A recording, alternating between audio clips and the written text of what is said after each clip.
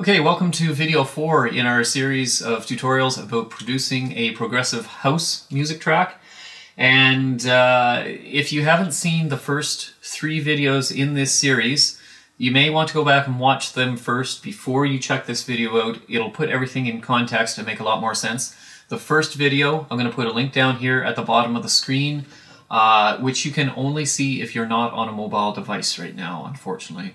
So if you are on a mobile mobile device and you want to go back and see that first video, look in the description underneath the video instead.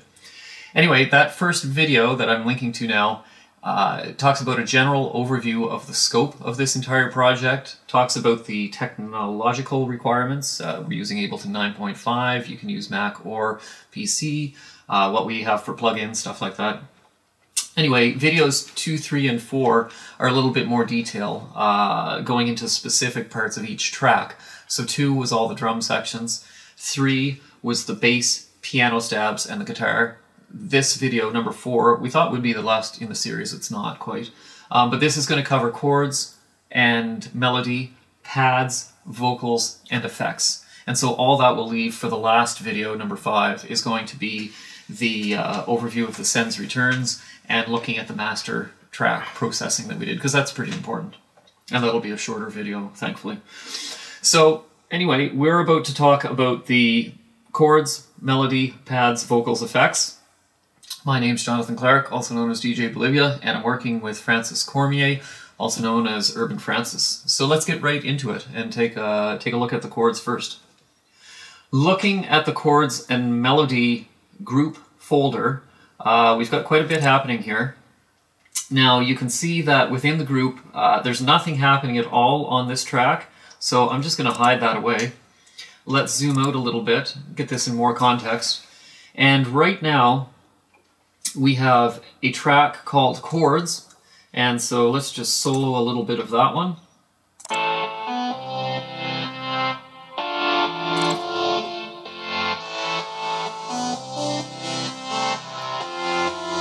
And you can hear that's really got a saturated sound, upper registers, uh, warmth distorted, saturated. Okay, and then moving down to the next section, we have this, oh, oh, actually maybe let's talk about the automation in each as we go. Uh, this one is automated on the audio effect rack, which Fran is going to talk about, on Macro 1. And that's basically, um, that's the majority of the automation looking at the mixer, we have a little bit of a dotted eighth uh, delay echo happening towards the very end of each of those two sections. And that's it. We don't even have any volume automation on that track. Okay, looking at the next track called Strings, we'll do a quick preview of that.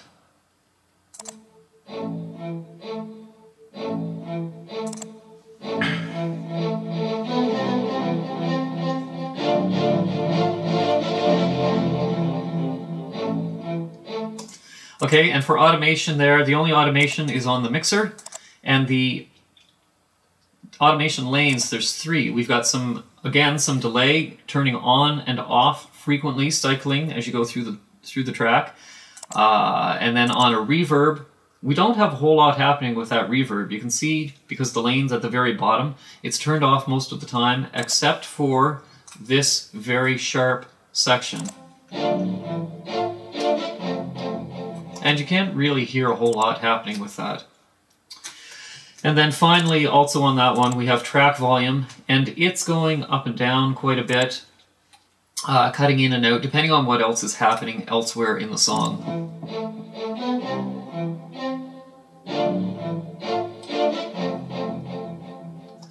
And so I had that fade out there to emulate an echo kind of going off into the distance. And then finally, our pluck track is, uh, we'll solo that and see what that sounds like.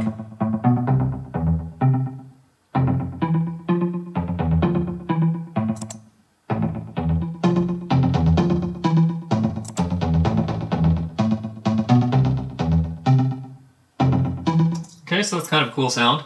Now, the interesting thing about the pluck is that there is so much going on here during this breakdown. And there's a reason for that. When we started building this track, basically the intent was we, started off making this as an instrumental track for the tutorial. And at the last minute, just before we started filming, we thought, well, maybe it would be useful to have some vocals in there uh, just to show a little bit about what can be done with them and to give you something to experiment with. But we didn't have uh, the time or a proper vocalist to go through and do, uh, you know, we didn't want to write lyrics and, and come up with all kinds of, of proper singing for this track. So what we did was I took my laptop and microphone over to a friend's place, Kelly, and so she did some vocal recordings. And so those are in the place, they've been placed into the track during the break. And because of that, there was a little bit of overlap with her voice and with this pluck track. And so I thought that was a bit of a problem. And I wanted each of them to stand out more. So the reason why all this automation is here, so much automation, five different lanes, is because I was trying to cut, carve out pieces of the pluck to make space for Kelly's vocals. And so essentially what's happening is I'm dropping frequencies out, filtering some frequencies out or equalizing them out, and I'm also playing with the gain and dropping the levels down. So if all these automation lanes weren't here, then this section through here would sound exactly like this.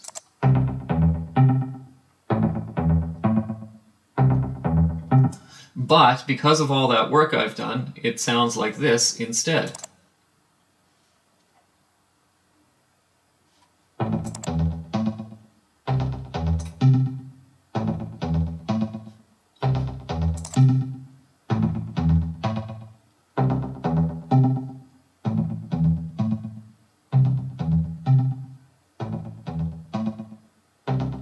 So not a whole lot of difference coming through on the camera, I bet, but when you listen to it, you know, in a good set of speakers, there's a huge difference. This stuff sounds very dainty. It's very, um, it's been backed off so that there's not a whole lot of uh, of the frequencies and the volume from this overlapping with the vocals that are further down below, which we'll talk about more once we get to the vocal area. But anyway, that's basically how the um, how each of the different chords and melody sections are placed together. So let's solo the group of all three as a whole and nothing else playing the song and just to give you an idea as the song progresses what's happening. So during the intro, it's just the pluck. Then coming up into the first breakdown, we have the strings added to the pluck.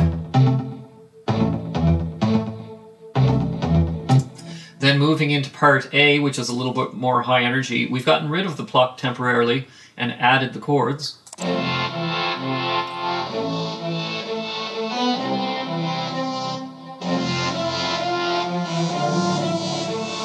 Then in the breakdown, again, a lot of stuff kind of carved out of the pluck, and the strings, uh, to a smaller extent, the same sort of approach with the strings. So it's very, very subtle, leaving room for the vocals. Then we get into the main highest energy part of the song, and we have just the chords. And the reason for that is there's so much other stuff happening up here with the um, with the piano stabs and the guitars that we didn't need a whole lot of the uh, chords and melody stuff. And then once we get back to the intro and everything's fading out, well, all this high energy stuff we got rid of and we went back to strings and pluck.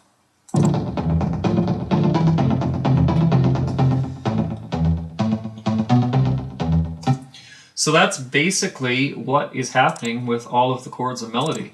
And I'll let Fran just quickly talk about um, any effects that are happening in here. And, uh, you know, there's really not a whole lot happening. I'm going to go through the effects processing that we have on the, the chords melody group and the individual tracks. On the actual group itself, there is no effects processing. The first channel is, is only MIDI and it's not present. The second uh, individual track is called Chords. And in that track, we have an EQ8, we have two sidechain compressions going on, and we have an audio effects rack uh, with a macro being automated. As you can see the EQ8, we have a big roll off in the low end. We have a little boost at around 1K, 1 kilohertz. And then to, to get the um, this, the chords to sound uh, present, we did a we have a, a high shelf at uh, 3 uh, 1017 hertz uh, with a gain of 6.9. I'm going to play through the um, loop of our, over our chords, soloed, and I'll show you just how this does add presence. Uh, the gain, as I take the gain down, the sound is going to move away from us. As I move the gain back up, it comes back. We have two side chains. Uh, have, it's being side chained by the ghost kick and it's being side chained by the drums. The audio effects rack is is um, the audio effects rack is doing the exact same as uh, we had showed in the guitar lead. So if you go back down to the uh, chords uh, and look at the automation drawn in, actually this is a good thing I just did. I clicked that and that actually turned the automation off. Uh, to turn it back on, you have to right click and you go up to re-enable automation. You, that can happen a lot during your during your uh, mixing. I'm gonna push put this down the um, put it. The, this is in the automation lane, but we basically did the exact same uh, effect. Uh, this was recorded in uh, using the audio effect rack and setting up a macro. Next, we have the strings. The strings has this similar sidechain compression, and it has its own uh, unique EQ8 that, uh, rolling off the lows for our sub and our sub kick. A little boost in the around 500 hertz, and we have another uh, high shelf, uh, giving the sound, making the sound a little bit more present. Third, we have the pluck. On the pluck, uh, we have the same audio effect rack uh, withdrawn in automation, or this is record, this is recorded in automation, and then that's drawn in automation. We also have side chaining uh, with the ghosts kick and the drums. We have a saturator and we're using a, this is called warm up the lows and it is a preset. And to set, to, to change this preset, if we press these, this button here, it turns orange and actually highlights the preset that we used under saturator. So, uh, we used the warm up the lows and I, could, I guess I could show you how you switch, if you switch, if you press, if you clicked, double clicked on warm up the highs, it's gonna, you just saw it changed to warm up the highs. And I'm gonna put it back to the one that we used.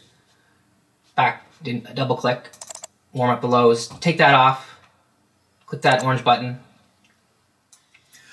What I didn't talk about a few minutes ago is that these tracks, these strings, um, they're not exactly, they've got slow attack times.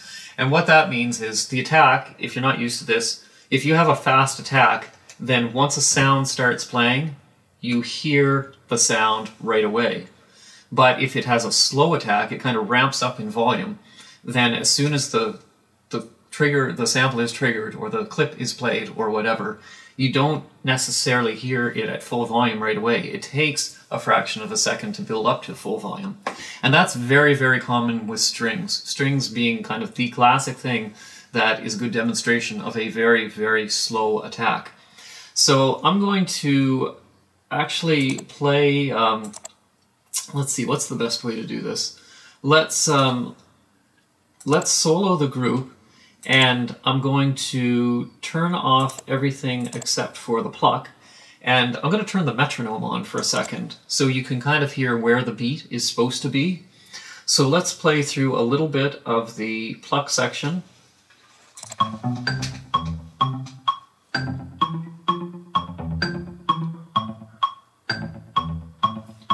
Okay, and to me that sounds very much like it's in time with the beat. Now, if instead, if I turn on the string section and play that uh, metronome along with it, let's see what happens.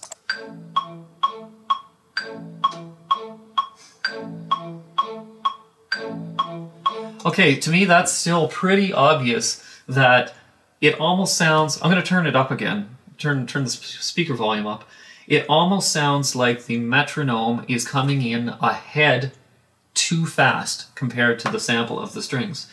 And that's not technically what's happening.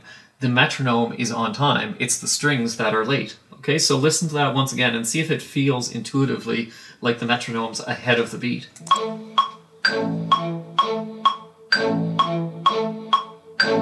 See, it sounds just a tiny bit rushed. And to be honest, what happened was we had to put a delay on this. Now, these delay things, basically what happens is normally a delay is positive. And if you've got a positive number of milliseconds there, then once a sample is supposed to start playing, it doesn't start playing for that number of milliseconds. Okay, so 22 milliseconds, you know, in terms of absolute time for a person, that's not much time. That's 22 one thousandths of a second, which is a fraction of a second. So to delay something, if this was a positive number, so let's put it up to the positive numbers. If um, if you were to delay this by 22 one hundredths of a second, then let's see what it sounds like.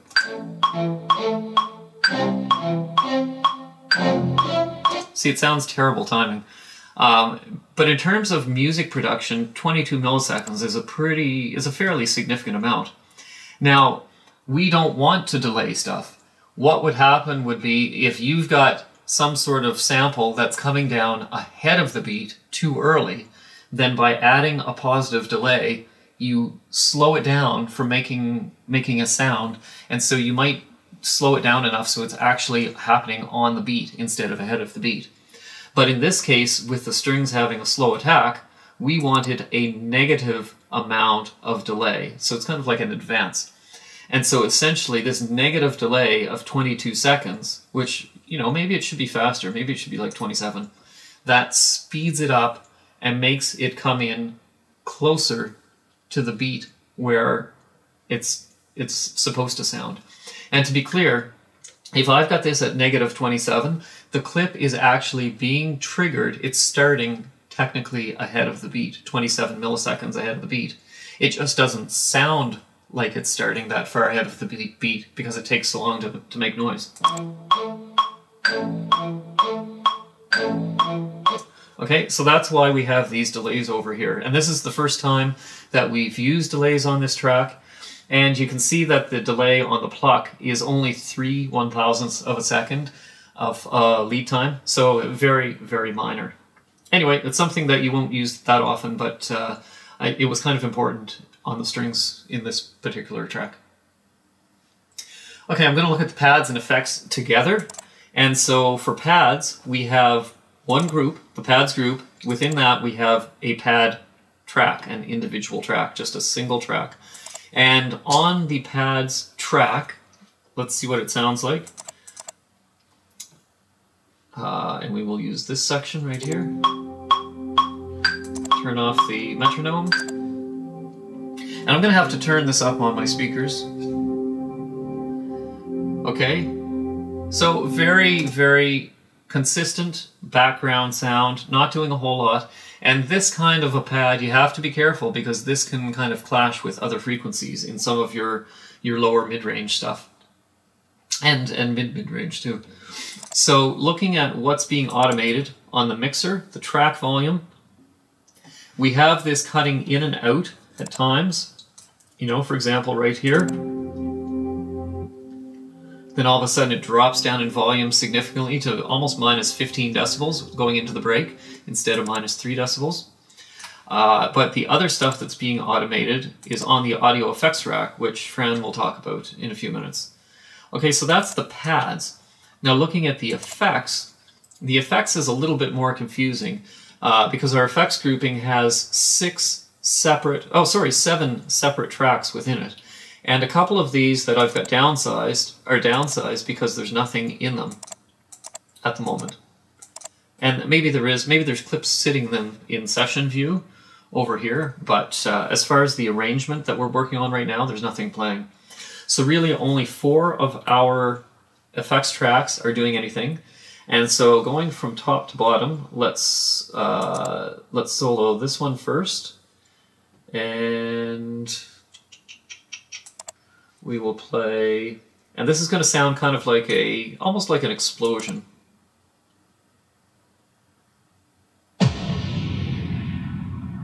Or a gunshot. Okay, so that's pretty simple. Uh, the second one is this repeating pattern, FX noise.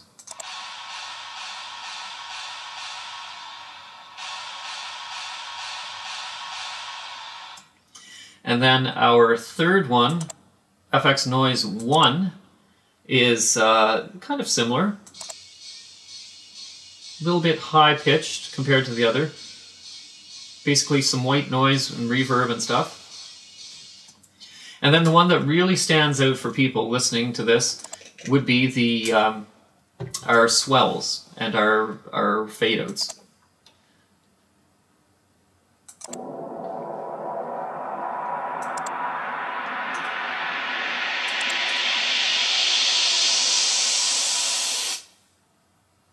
Okay, and that one cut out before the beginning of the first bar of part A, and that's on purpose. That was to give a bit of a pause before everything hits at the beginning of part A.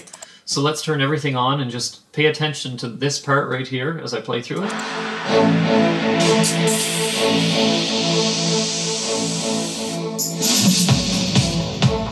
Okay, and if you move over, we also have some of these where they are back to back and reversed. And so soloing that.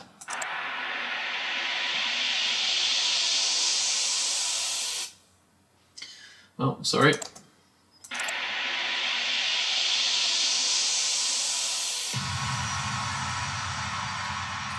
Okay, so it fades in and out. And then if you put that in context with the track as a whole,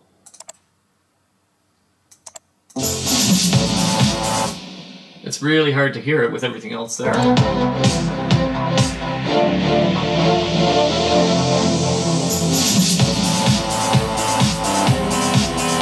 Okay, now what about uh, listening to all of the effects together? Um, well, there's not a whole lot of times when everything's playing together, but quite often there's two or three parts.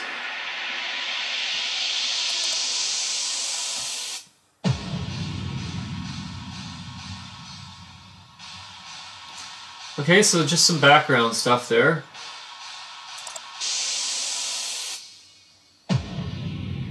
Okay, so, you know, the, the sound effects, very, taken by themselves, they don't sound really that impressive, but they add so much to a track once they're in the background and complementing all the other, uh, all the other instruments. And so basically, um,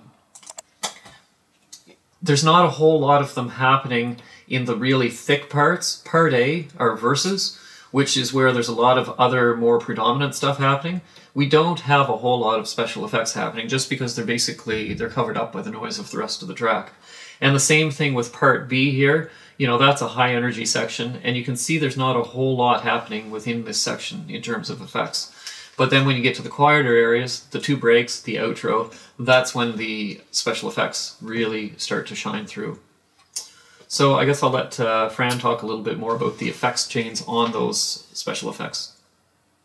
There's not a lot I can add there, but I'm going to talk about the effects on the group and the individual tracks for our pads and our effects. On the pads themselves, we do have our sidechain compression going on. Uh, both the the sidechained uh, ghost kick and the drums on the pad itself, there is an audio effects rack, and a, we're automating the macro. Uh, it's very similar to what we did in um, the guitar and, and, and, in parts of the chords, but in this case, um, this was all drawn in. It was all penciled in or drawn, and I I just clicked on. I actually when you move it is what ha- when it's. I'm gonna go re-enable automation and show you what happens. It's actually when you move the macro that it, it'll be it, it turns black on my screen. It looks more like a gray here. Um, and that means it's shut off. So if I play the track, that the effects that are there won't actually be playing. So you have to you have to right click on it and then go up here and it says re-enable automation. So you click on that, boom, red's back.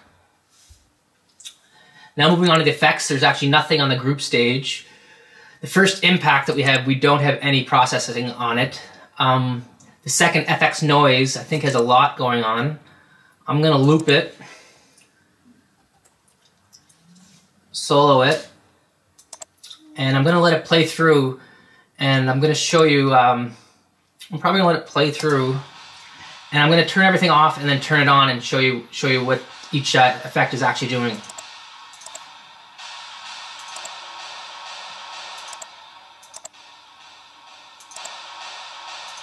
I'm going to turn your speaker volume up a little here. Okay, go ahead. Uh, the first, uh, the first effect in the chain is a simple delay, and that's set up to kind of create a, a, a spread in the stereo sound, so it, makes the sound move sound wider in the speakers. Second, we have a reverb. Second, we have a reverb uh, that it creates um, more space in the sound. That's what it, what the reverb does. And then we have the EQ8, and we have we have it rolled off a lot because we're just looking more for that higher sound. And getting rid of this actually helps the overall mix. Um, getting rid of those lows, rolling off all those lows with a high pass filter is really helping. It really helps uh, the mix overall. It won't uh, it won't be as muddy in those frequencies. I'm going to command Z or Control Z, sorry, uh, to put it back to where we had it. The limiter is adding volume. Uh, it's, it's not actually limiting at this point because uh, if you look right here, this is the level showing the limiter actually kicking in, and it'll be a yellow. Uh, a, well, I'll demonstrate what happens as I turn this up. Now it's it's orange actually. It's it's it's starting to limit now. Control Z, put it back. Uh, next we have a saturator, which adds a little. We have the drive up a little bit, so that adds a little bit of harmonic distortion or distortion. Utility is bringing the sound back down. And last we have a, com a compressor, which is adding a little bit more to this to the sound. And you can turn the whole the whole effects chain off um, just by clicking the first on off button. That turns off everything at once. And if you double click on it, it actually closes it.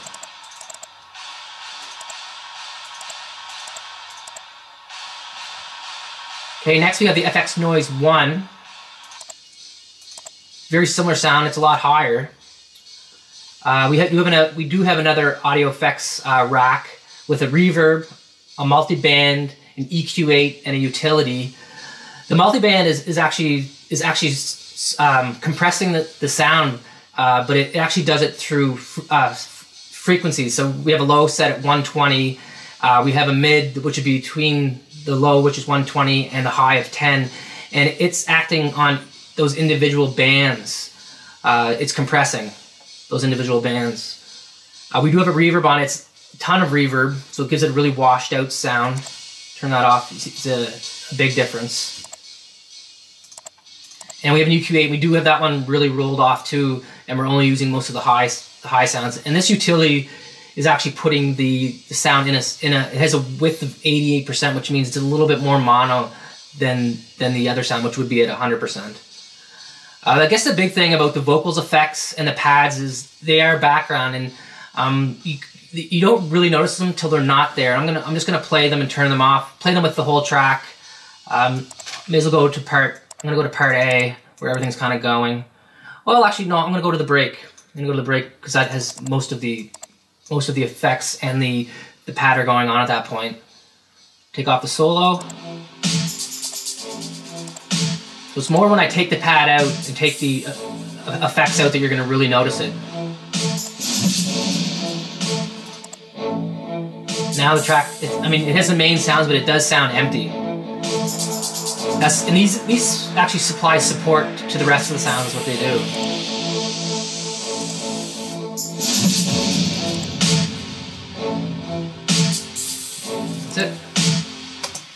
Can you show them also what um, if you open one of the clips? Let's go into the pad section there and open up one of these clips. Show them how we use the um, bits and pieces of a. Um, we basically duplicated a clip there, and how you can also loop them. Okay. Uh, right now, it's actually this one shouldn't be too hard to do it on. Uh, right now, we what we did is we duplicated it. I'm guessing eight times. One, two, three, four, five, six, seven, eight, and it's a it's a two bar. Uh, it's a two bar loop. So what you do to, to, actually you can loop it so that it's actually looks like it's only uh, one. It is only one clip. So you go into here under sample, and you click on loop, and then what you do is you go up to the first the first uh, audio clip, and you when you go on the edge there, it makes a little. I'm not sure what you call that. What would you call that? Uh, like when you go on the end, like I go on the end there, and I go on the end there. I don't know. It's just the end, end of the clip. Okay, you, it represents the end of the clip. You drag and extend the clip. Okay. Yes. So as I drag and extend it, it's actually repeating the loop, and you can see the little loop points. It is one clip, but it does show you all the little loop points uh, right there at the top. And so the way that we had done it before, it was just the two bar, if you want to control Z that, the way that we had done it before was that if you had just this one clip, like say we've got it out here, if that's highlighted and you hit Control D on a PC, it just keeps making duplicates. And so the only difference really is that in this case, all of these are um, separate individual small clips instead of one that's been spread out and looped on itself. Okay, we need to look at the vocals next. And this section's a little interesting because we had not intended to have vocals in this track at the start. It was built as an instrumental for the tutorial. And then sort of at the last minute before we started filming, we realized, well, it probably wouldn't be a bad idea to have some vocals in there, um, just to demonstrate a bit of what can be done with the track, and also to give you something to experiment with.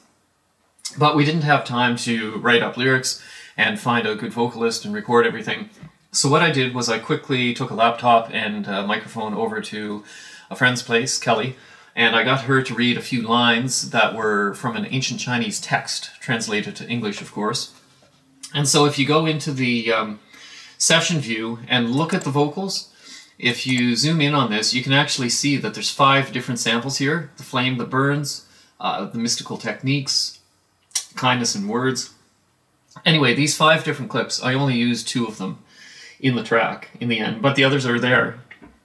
So if you do want to experiment with them, please go ahead. Um, and what we have, we have a vocals group, and within the group we have two tracks. And we didn't really want to have something very conventional and static. We thought, well, let's experiment a little bit and try and kind come up with something that's really evolving and unique and different.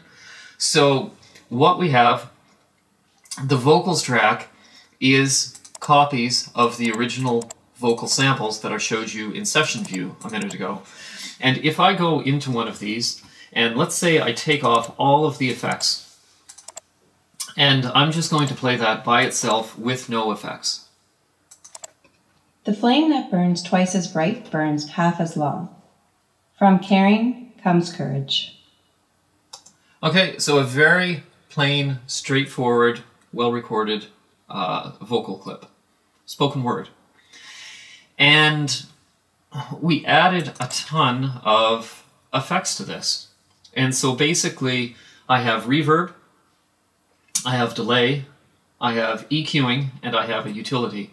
So let's play, um, let's play this clip. We'll put it on loop.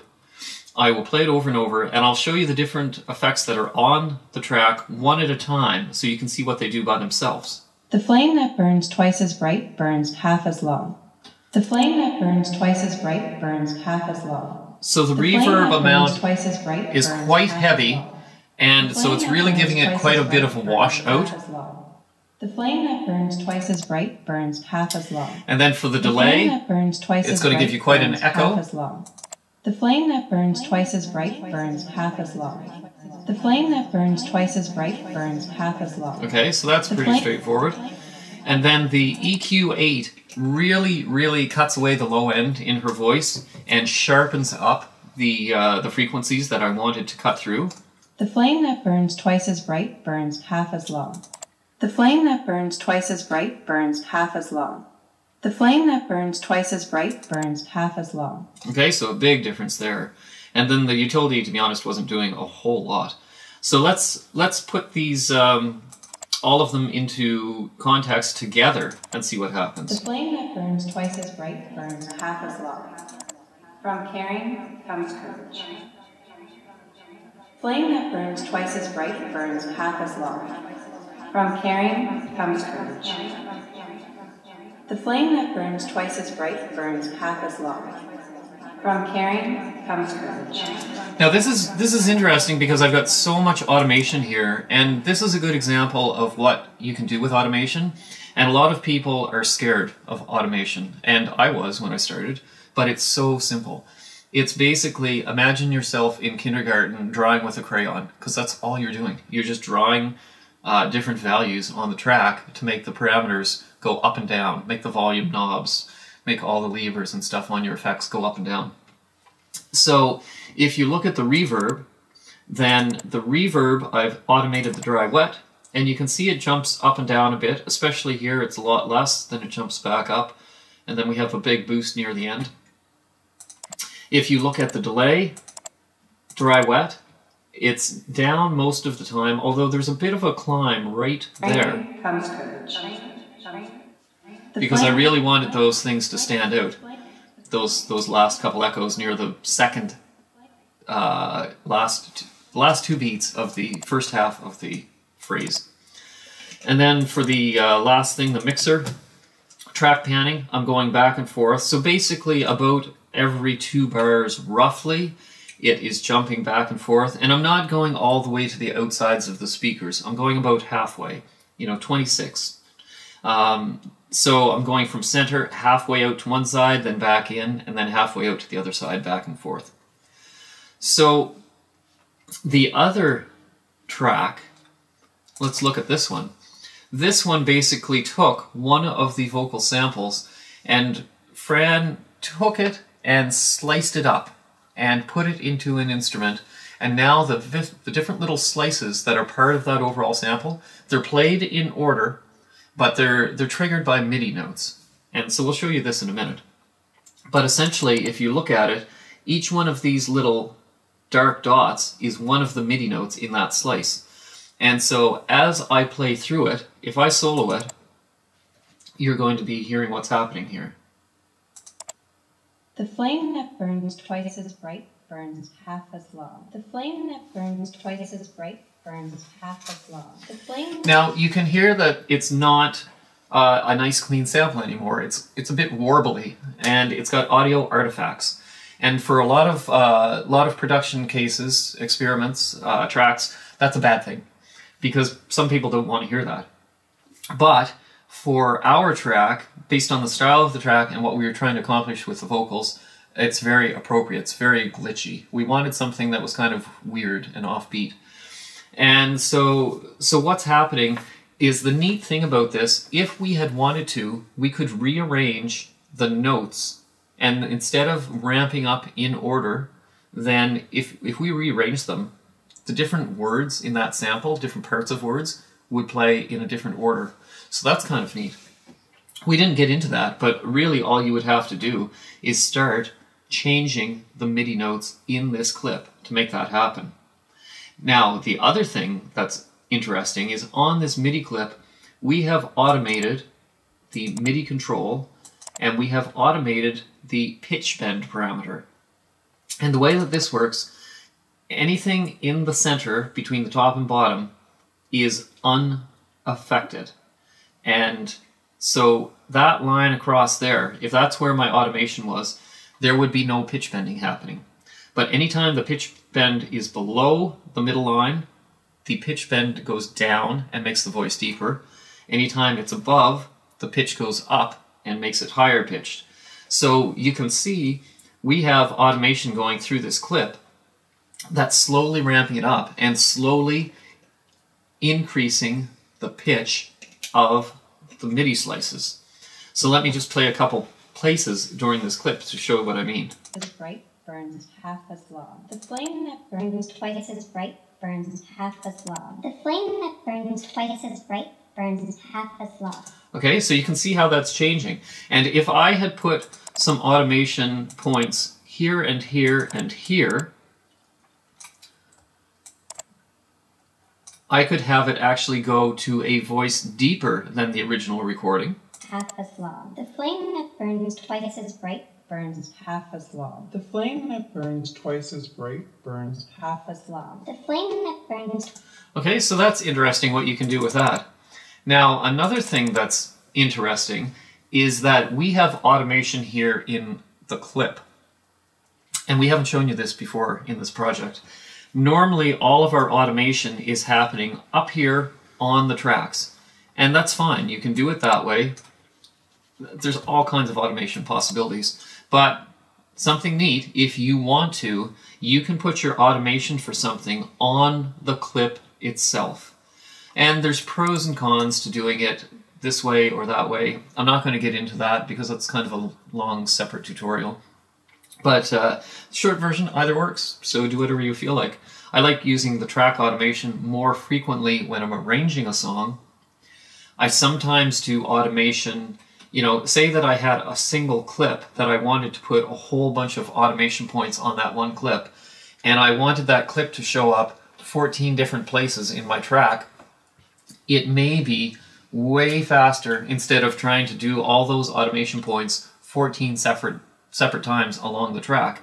It may be easier to take that clip and put your automation in the clip and just copy that clip so you've got 14 copies. So so that's the reason why clip automation can be useful. One reason. I'm going to show how we took the audio vocals here and actually um, turn them and slice them to MIDI. I guess the big thing with I think with audio vocals and vocals in general, especially in modern dance music, is just experiment, experiment, experiment, and you're going to come up with some cool things. I'm going to show you a, a little bit what we did. Um, so we're going to click on this on this audio clip. You need uh, warp on to slice it to MIDI. So we're gonna the warp button is in the sample area, and when I press that, it turns yellow. And now it's warp is on. And now what you do is you right click, and as you go down, you should you should see a slice to new MIDI track, and there it is there, right below crop clips. And that doesn't show up if you don't have warp on, right? No, warp has to be on. Okay. Okay, so I'm gonna click on that, and it's, it's not gonna slice right away. It's gonna give me settings, and I'm pretty sure we did. I usually do like using eighth notes too, and I think that's what we use. So I'm just gonna press uh, OK, and it should give us um, maybe well, we'll see 16, up to 16. It is. We're we're getting 16 slices, and it created is right below it. Actually, it created a, a new uh, track, and this is the slice MIDI tracks. So I'm just gonna go to that track right now and um, solo it. Take the record off. I'm gonna loop it so we can hear it, and it should repeat the same sound that we heard in the audio clip. The flame that burns twice as bright burns And half as long. I'm gonna the flame expand that burns this twice as bright burns so we can see all the clips. The flame that And there's burns some twice as interesting things in this that we can do to to change The it up. that- Um, And and you can hear that that's a pretty clean sound compared to what I was showing you a The minute flame ago. that burns twice and as it's because there's less audio artifacts um, when you first slice it. Some of those audio audio artifacts that I showed you were a result of other stuff that we were doing. And I think one cool thing you can do is um, if you click on the headphones here, you can actually hear each uh, each sample. There's nothing. Okay, there's well, there's nothing in that sample. Blah, blah, blah, blah, blah, blah, blah, blah, This is how you come up with cool glitchy stuff as you repeat this kind of stuff. So we can do some stuff here too to make it sound different, sound cool. Actually, it's just little editing things. The flame that burns Um, twice as bright There's buttons in the long. under notes The here, flame that burns and twice as it, there's a reverse and an inverse. And I think in this case, the reverse and inverse, just because if we're doing them all at the same time, I think it's going to do the same thing. But it's going to make this, it's going to reverse the clips and it's going to play the The vocals backwards. burns bright as twice as flame that flame the half as burns bright as So that's something interesting to do. I'm going to try inverse too because I think in this case it's going to be the same thing though. Yeah.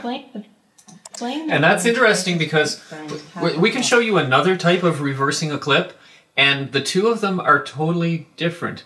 This one is taking those 16 pieces, it's playing each of the 16 pieces in reverse order, but each piece, which is one sixteenth of the phrase, is still playing forward, the same direction it was recorded. Okay? The other way is to take the original audio clip and reverse that, in which case the whole clip is being played backwards. It does sound different. It's a very different sound. Yep. I'm going to show also above the reverse and inverse, there's a divide by two and a multiply by two, and that's going to make the clips come either twice as fast or going to make the clips go twice as slow. So we're going to go twice as fast first and see what that sounds like. It's, it's actually looped, so we're going to just press, I'm going to press the space bar, and it should sound a lot different. and twice as bright burns half It's happening twice as fast. I'm going to put loop on, and twice as bright burns half long. and you can keep dividing it smaller. And as half long. Actually, I'm going to. And twice as half long. So I mean, that's exper- you can experiment like And twice as that, bright burns half long. and then now. The flame that burns twice as the flame that burns twice as in this case I don't know how long. flame that the flame that the burns twice as So I'm going to put that back that as it is. But you can do a lot of experimenting, and, burns and twice Bolivia was saying earlier you can change twice as- uh, change flame these around, and that's how you that's the the flame that creativity that twice you should be doing to try to come up with your own unique. twice Um, as- Yeah. the flame Let's let's own do a unique quick, pattern. quick demonstration of that. If we were to go and uh, Uh, sorry. You want to command Z? Yeah, com- command Z that. Okay, if we were to Control Z. do this, and then which one was the? Okay, so let's um, let's take this. I'm gonna have to stretch that. Okay, Oh. so let's take this note and copy it, and then put it up here, and make a whole bunch of them. Blah, Yeah, you're gonna get a glitch, glitchy sound. blah. Blah, Okay, and then we'll get rid of these, burns, affas, and then let's see what happens when we play it. burns twice as, Just gotta extend. the flame that burns twice as, It's just up here, And... the because flame that burns twice as bright, burn, blah. The Okay. flame that So that didn't really sound great because Blah. it was too fast. Blah. So what if we cut these out? blah, Okay, Blah. still too much. blah, blah, blah, blah, blah, blah, blah, blah. Okay, Uh, you know that's not a perfect example. And I guess one reason is we have it at 130 second notes. Yeah. And you can, if you, it's something that we can just show them. Uh, if you right click on it, you can actually change the fixed grid here, which we, we had done up in the session, or in the arrangement, sorry, but you can actually change the grid here. And, and that's why it was so fast because we had it on 30 seconds. But you could make it eighth notes and it would be, it would be, s oh, zero, zero shuts it off. We'll play it again. The flame that burns This twice might be as too bright, slow, I don't- blah. Well, it's, you're The getting a glitch that burns effect. twice as bright, burn, Yeah, and you can also, you know, you could rearrange four or five of these things. bright, burn. Says flame. Flame that twice as flame burn. Experiment. Do lots of experimenting. Flame that flame. Flame burns Okay, let's try that. says affas burn burn burn flame burn bright burns blah blah blah blah. Says affas burn burn burn flame burn bright burns blah blah blah blah. Says Okay, so you can really make some cool Yeah. stuff with that if you play around with it for a while. So I mean, that's exactly how we made the MIDI that we did make, and we just uh, looped it. Let's show you how to reverse the audio instead of using slices. I'm gonna loop. It's looped right now. I'm gonna play it. The flame that burns twice as bright burns half as I'll play it with the effects and without the The effects. that So I'm gonna go in. as bright burns half as long. You actually don't have to have it looped here, Twice as bright burns half but in the sample area, The there is a reverse button. The and when I press that, it will reverse the- it will reverse the burns half as sample. long. Als het achter, je hebt dezelfde nerve en je hebt- als het achter, je hebt dezelfde nerve en het lang. The I guess I'll try it without. It sounds cool with the sample. it does sound cool with The all this on anyway. The flame that burns twice as bright burns half But as I'll long. do it dry. The flame that burns twice as bright burns So it's the reverse button here in the sample. The flame partner, je hebt dezelfde nerve en je hebt- And, and in this area too, we may as well talk about it. You can actually, um, als het achter- if you switch from transients, if you, sorry, if you switch from beat to complex, you can actually use a transpose here and actually transpose it up 12 or down 12. But I'm, I'm just going to use 12. So we're changing the pitch so you can come up with some, and then we can make it really deep. And this does it, this is a, this does it in smaller um, versions. Like that's semitones, this is CT. Je hebt dezelfde nerve en je hebt- Uh, well, 100 CT would be one. No, actually, Oh, centitones. centitones. Yeah, Yeah. it's a hundredth of a tone. Okay. nerve en je hebt- Oh yeah, 50. Every 50 is a, is a semitone. 50 of these is a semitone. Als het achter, je hebt dezelfde that's another way of doing je hebt- Als het achter, je hebt Turn the reverse back. The flame that burns twice as bright burns half as long. Yep, so lots of possibilities there. Okay, so that's it for chords, melody, pads, vocals, and effects. Uh, that's enough for this video. And so the last video in the series coming up is going to talk about the master channel. It's going to talk about the send returns, and that should give you kind of the uh, the final overview perspective of the rest of the project that you need to really uh, understand how we put this together. Okay, I'm going to put a link to the next video in the series on the screen in just a minute, which you will only see if you're not on a mobile device. Uh, otherwise, the link's in the text description underneath this video. Thanks for tuning in, and we'll see you in the next section.